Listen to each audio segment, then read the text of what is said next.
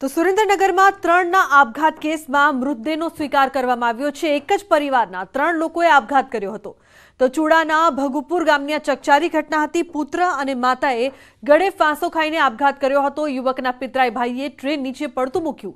તો મૃતક યુવકને પોતાની સાડી સાથે હતા મૈત્રી કરાર.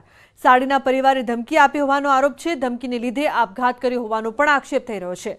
તો આરોપીઓ સામે કડક કાર્યવાહીની પરિવારની માંગ છે. પોલીસે યોગ્ય કાર્યવાહીની પરિવારને ખાતરી આપી છે. આ ખાતરી આપ્યા બાદ પરિવારે મૃતદેહનો સ્વીકાર કર્યો.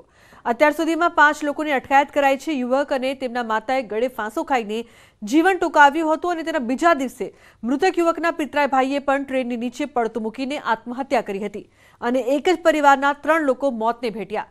ત્યારે હાલ સમગ્ર ઘટનાને પગલે પંથકમાં ગમગીની ફેલાઈ છે.